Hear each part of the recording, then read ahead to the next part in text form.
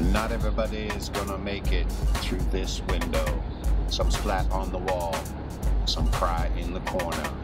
Because crisis brings many people to tears, frozen by fears, temporal lobes, seized in synapses, quick firing, arteries constricting, and all the blood oxygen levels spiking to the point you cannot make a rational thoughts. Panic is never a good philosophy when things go crazy. It's time to take a breath, survive the test. So if you want to make it right through this window, don't be in denial that the evolution call is here.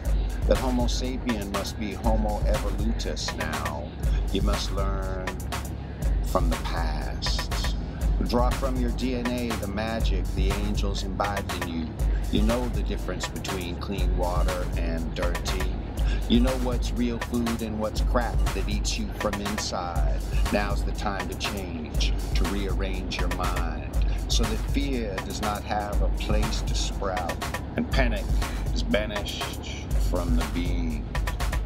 We can live clean, easily. No special initiation, no week long retreats. It's neat inside every one of us living on the DNA. We have the epigenome that's like the software for the genes, activated anytime you want to be a special being. And this is the window, this is the time, you know, inkling in the back of your mind. You felt it your whole life. It is something just for the chosen few.